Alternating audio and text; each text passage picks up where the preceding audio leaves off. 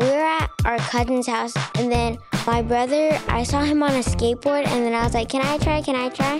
And then I just got on it, and then I just loved it.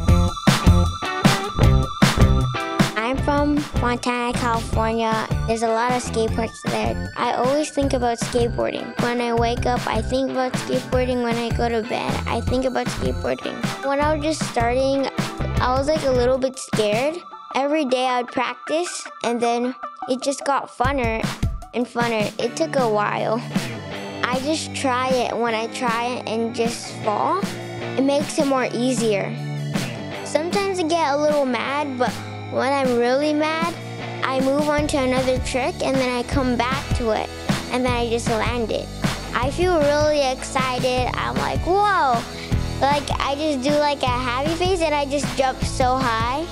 I skateboard to have fun and I really like hanging out with my friends. We go skating like mostly every day.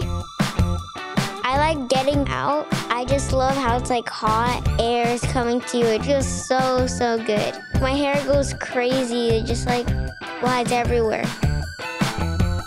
There's mostly boys, but I invite my friends over and when I had more friends that could skate and they're girls, like really fun to just skate with each other.